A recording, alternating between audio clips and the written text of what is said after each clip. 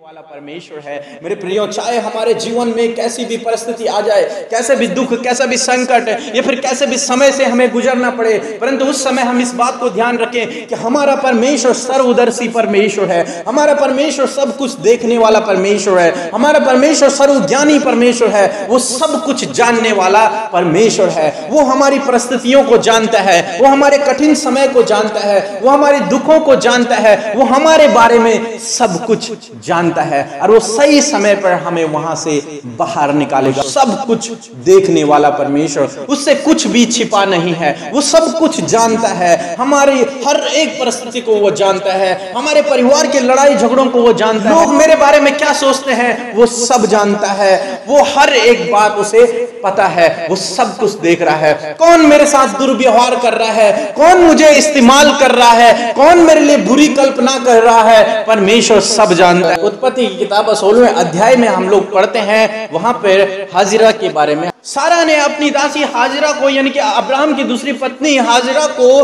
बहुत दुख देना शुरू कर दिया और हाजरा ने सोचा कि इससे अच्छा कि मैं इतने दुख में यहाँ पे रहूँ अच्छा रहेगा कि मैं यहाँ से चले जाऊँ।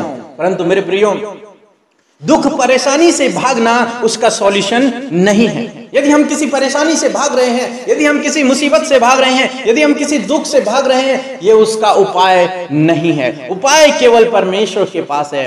और हाजिरा ने सोचा कि मैं सब कुछ छोड़ करके कहा वापस चले जाऊँगी? मिस्र देश, अपने घर वापस चली जाऊँगी। और हाजिरा निकल गई घर से और बीच रास्ते में परमेश्वर ने उसे दर्शन परमेश्वर ने उससे दर्शन दिया और उससे कहा, हे हाजरा, मैंने तेरे दुख को देखा है। दुख को मैंने देखा है, तेरी पीड़ा को मैंने देख लिया है, तेरी प्रार्थना को मैंने सुन लिया है। अब हाजरा ने उस जगह का नाम और परमेश्वर का नाम रखा। और परमेश्वर का नाम उसने इस प्रकार से लिखा रखा सर्वदर्शी परमेश्वर, सब कुछ देखने वाला परमेश्वर। मैंने अपनी दुख की कहानी किसी को नहीं बताई, मैंने अपना कष्ट किसी को नहीं बताया। जो कुछ सारा ने मेरे ऊपर जो ताड़ना की, सारा ने जो दुख मुझे दिया, वो किसने देखा?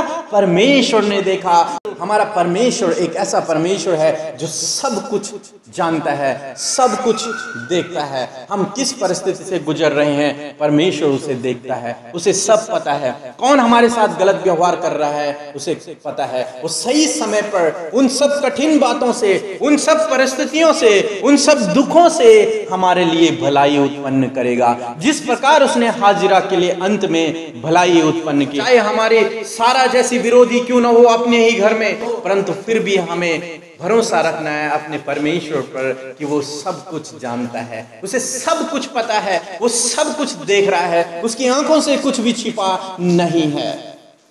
और तो आप उससे प्रार्थना करें, वो सही समय पर आपकी प्रार्थनाओं का उत्तर देगा। समय उसका है। समय हमारा नहीं है। समय उसका है। कई लोग सोचते हैं, इस परेशानी से भागने का केवल एक ही सॉल्यूशन है, वो है आत्महत्या। हम आत्महत्या कर देंगे, क्योंकि वो परेशानी से क्या करते हैं? भागते हैं। परेशानियों से, दुखों से, अपनी परिस्थितियों से, अपने कठिन समयों से भागने का प्लान करते हैं। हम यहाँ से भाग जाएँगे, आत्महत्या कर देंगे, मर जाएँगे, और इस परेशानी से हमें छुटकारा मिल जाएगा। परंतु मेरे प्रियो, मरना और आत्महत्या करना और परेशानी से भागना सॉल्यूशन नहीं है। उपाय नहीं नहीं है। उपाय केवल परमेश्वर के पास है। यदि आप धीरज से उसकी बाट जोते रहे तो अंत में तुम्हारे लिए भलाई उत्पन्न करेगा। अंत में हमारे लिए उसमें भलाई उत्पन्न करेगा। चाहे हम कैसी भी कठिन समयों से गुजर रहे हैं, चाहे हम कैसी भी परिस्थितियों से गुजर रहे हैं, परंतु अंत में वो हमारे लिए भलाई उत्पन्न करेगा। हमारा परमेश्वर सर्वदर्शी परमेश्वर है। उसकी आँखों से कुछ भी छिपा नहीं है। वो सब कुछ जानता है। प्रियो, चाहे हमारे जीवन में कैसी भी परिस्थिति आ जाए, कैसे भी दुख, कैसा भी संकट, या फिर कैसे भी समय से हमें गुजरना पड़े, परंतु उस समय हम इस बात को ध्यान रखें कि हमारा परमेश्वर सर्वदर्शी परमेश्वर है। हमारा परमेश्वर सब कुछ देखने वाला परमेश्वर है। हमारा परमेश्वर सर्वज्ञानी परमेश्वर है। वो सब कुछ जानने वाला परमेश्वर है। वो हमारी परिस्थितियों को जानता है। वो हमारे कठिन समय को जानता है। वो हमारे दुखों को जानता है। वो हमारे बारे में सब कुछ जानता है। और वो सही समय पर हमें वहाँ से बाहर निकालेगा।